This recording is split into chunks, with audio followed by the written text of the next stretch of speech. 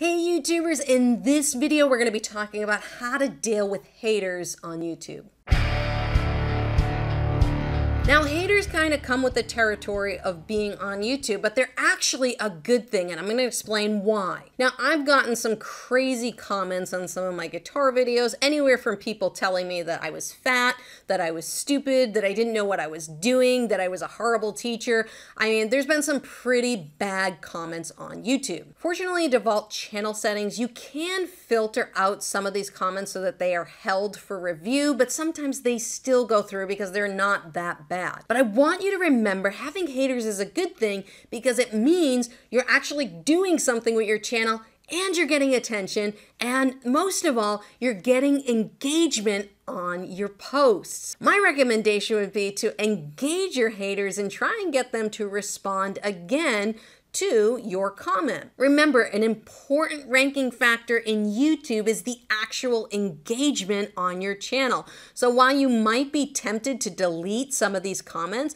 don't be surprised if your audience jumps in on that person and starts telling them how they're wrong because they love you. My biggest recommendation would be to not take haters so personally. I know it can be very hurtful and you would wonder why someone would say something so dumb and so stupid, but I just want you to remember to keep doing what you're doing. Don't let someone else's hate and hurt prevent you from changing your life with the YouTube platform. I always kindly respond and say, hey, thanks for commenting on my video and improving my engagement. Now YouTube's gonna show more of my videos. I really appreciate your help. Thanks so much. You don't have to be angry at them because that's just not gonna reflect good on you and your audience. Just thank them for helping rank your videos. There's nothing more that a hater or troll likes than helping someone. And I want you to understand everything we do, we all have opinions. And sometimes my opinion is going to disagree with someone, especially if you're in the education business like me.